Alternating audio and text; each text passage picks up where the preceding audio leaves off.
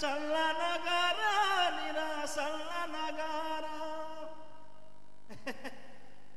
म त यस्तो दामी गायक हो कि? गायक मात्र न टिचर पनि हो। म अघि स्कुलमा पढाउँदै पढाएर आउँदै थिएँ बाटोमा एकजना ल परेको त्यसका बाजे सबै सुरुवाल मात्रै लगाएर आएको छु प्यान्ट कहाँ गायब हो कहाँ त्यस्तो खाले मान्छे। ज्याकेट मात्र लगाएर आएको छु टाई मात्र लगाएर आएको छु। म दामी गायक हो वास्तवमा। मैले गीत गाएँ भने त अस्ति छिमेकीको घरमा हेर्नुहोस् कुकुर त पुरा सुतेको सुते। मेरो स्वर सुनेर।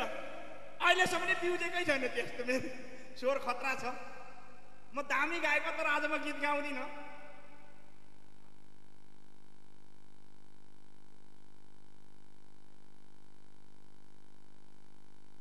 हेर्नुहोस् होइन म तर आज गीतै गाउँदिनँ।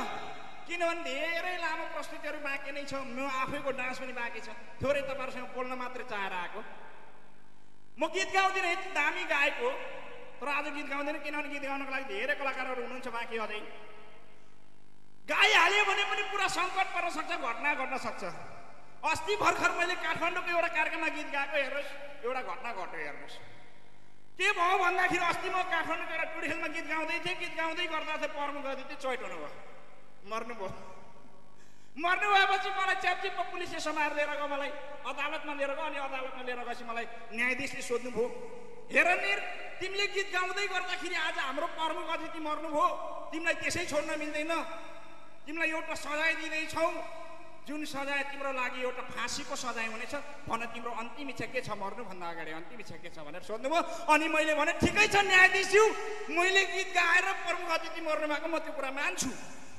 तर पुरै गीत गाउन पाएकै थिएन यार आधी गीत गाउँदै मर्नु भयो त्यसैले मेरो अन्तिम इच्छा के छ भने न्यायाधीशज्यू पुरै गीत गाएर तपाईँलाई सुनाउन चाहन्छु भनेको न्यायाधीश न्यायाधीश फाँडे त्यस्तो मान्छे हो म त है आउँदै थिएँ सानो बाबुलाई हेर्नु यहाँ है म सबभन्दा अगाडि सानो बाबुलाई सोधेँ बाबु तिम्रो बुबाले के काम गर्नुहुन्छ भनेर सोधेँ मैले अनि बाबुले भन्नु हो अङ्कल अङ्कल हामी दस भाइ बहिनी छौँ। ए बाबु तिम्रो बुबाले के काम गर्नुहुन्छ? अङ्कल अङ्कल हामी दस भाइ बहिनी छौँ। ए बाबु तिम्रो बुबाले के काम गर्नुहुन्छ भनेर सोधेको? तिमीहरू कतिजना दाजुभाइ छौ भनेर सोधे होइन। त्यही त नि के अङ्कल हामी दस भाइ बहिनी छौँ। अब अरू काम गर्न त हाम्रो बुबालाई फुर्सद त मिल्दैन। त्यस्तो हरामी रहेछ नौल परासीमा हेर्नुहोस्। अनि त्यही बाबुलाई भने उसो भए बाबु तिम्रो घरमा सबभन्दा कान्छो को हो त नि? भनेर सोधेको त्यो बाबुले भने अङ्कल अङ्कल हाम्रो घरमा सबभन्दा कान्छो भनेको हाम्रो बाबा चाहिँ हुनुहुन्छ। ए बाबु तिम्रो बुबाले तिमीलाई जन्माएको। कसरी कान्छो?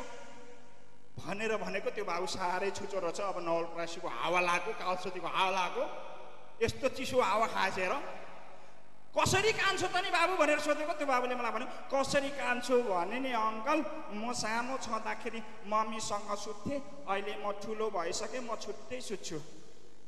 अहिलेसम्म पनि हाम्रो बाबा त मम्मीसँग सुत्नुहुन्छ। अनि कान्छो होइन त। जमुनालाई साह्रै घट परेछ। यस्तो खाले। थ्याङ्क यू सो मच तपाईँहरूसँग धेरै गफ गरेर हँसाउन मन हुँदा हुँदै पनि समय छैन। तर आज विशेष गरेर देवचोली महोत्सव प्रथम देवचोली महोत्सव दुई हजार त्रिहत्तर गरिरहनु हुने सम्पूर्ण सम्पूर्ण आयोजक कमिटीलाई धेरै धेरै धन्यवाद सम्मान व्यक्त गर्न चाहन्छु। कृपया एकचोटि जोरदार तालीका साथ आजका आयोजकहरूलाई धेरै धेरै सम्मान गरिदिनुको लागि म अनुरोध गर्छु। थोरै गीत सङ्गीतको माहौल छ। मलाई थोरै गीत सङ्गीतको कुराहरू जोड्न मन पर्यो हुन त यो तिजको गीतहरू दसैँका गीतहरू तिहारका गीतहरू धेरै परिवर्तन भयो। सधैँ गाउने गीत सङ्गीत परिवर्तन भयो। हिजो पाला गाउने आज पालि गाउने गीत सङ्गीत धेरै परिवर्तन भयो। अब हिजो पाला गाउने गीत सङ्गीत कति राम्रा थिए? हे हाम्रो बुवाले गाउने पाला। हे रेशम फेरि ताली म आफै बजाउनु पर्ने। हे रेशम फेरि रेशम फेरि भुलेर जाऊ कि डाँडामा भन्ज्याङ रेशम फेरि यति राम्रा थिए हाम्रो बाबाजे पाला गीत गाउन कति सजिलो हुन्थ्यो नाच्न कति सजिलो हुन्थ्यो सुन्न पनि कति सजिलो हुन्थ्यो।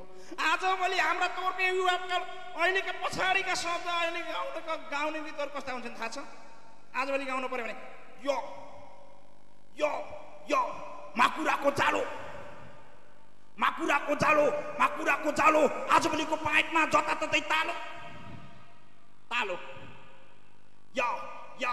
माकुराको जालो माकुराको जालो आजभोलिको पाइपमा जताततै तालो त्यही तालो चेट्यो भने स्टिकर हालो या या फुक्का जे गाने हुँदो रहेछ यार गीत सङ्गीत त मलाई नाच्दै झोक चला नि मैले पनि गीत बनाएको छु मेरो गीत पनि अब चाँडै नै आउँछ तपाईँहरू सामु पनि आउँछ मेरो गीतको बोल के छ यो यो घिन्ताङ घिन्ताङ मादल बच्चा आफ्नै तालमा घिन्ताङ घिन्ताङ मादल बच्चा आफ्नै तालमा निरालेरै भात खान्छ कुकुरको थालमा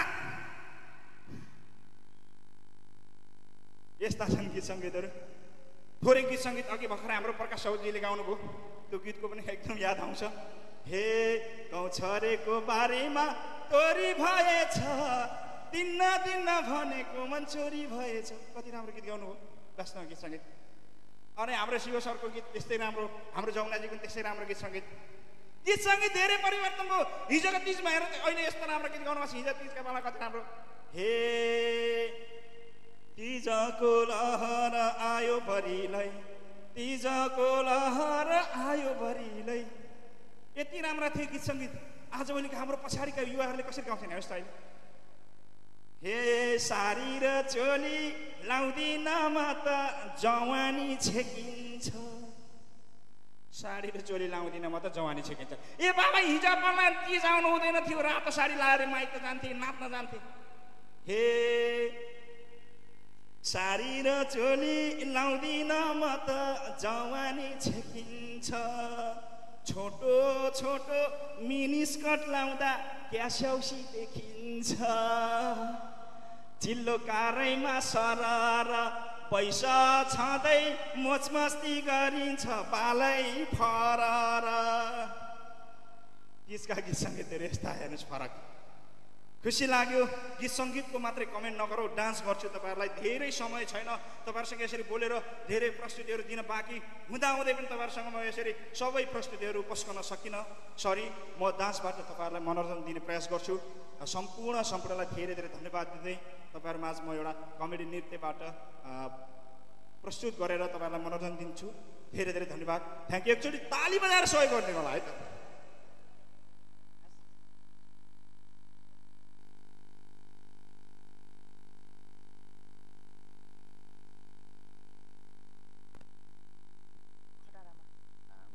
हाम्रै किनिसक्यो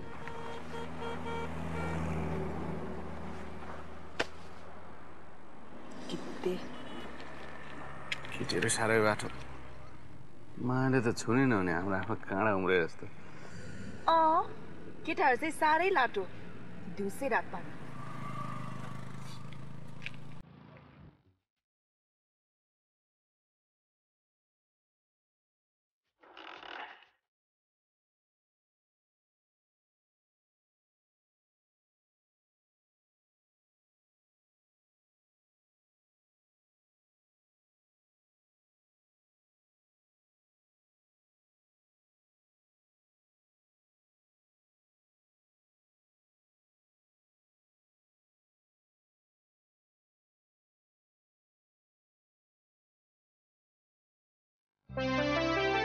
Ha ha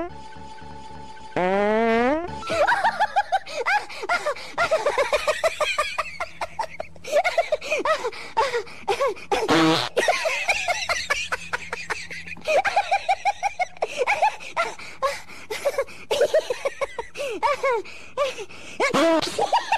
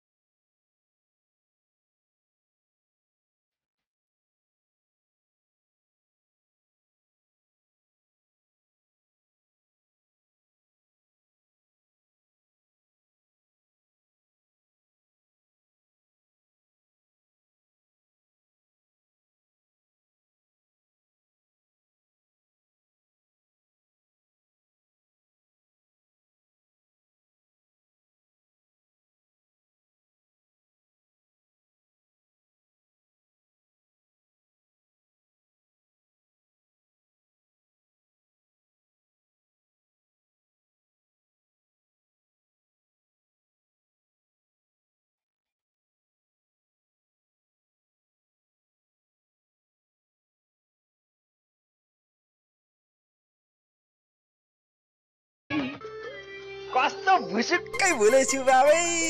यहाँ नाचेर बस्नुपर्ने म झन् ए बा कहाँ पुगेछ मेरी सुन्तली? ये मुर्दानी ये पात कि कहाँ गइछे? लौडम बचाउ गुहार। कहाँ गइछे? कहाँ गइछे दाउरी? खोज्न पर्यो अब कहाँ गयो अलि? यहाँ पो रहेछ मेरो मुटु मेरो कलेज हो।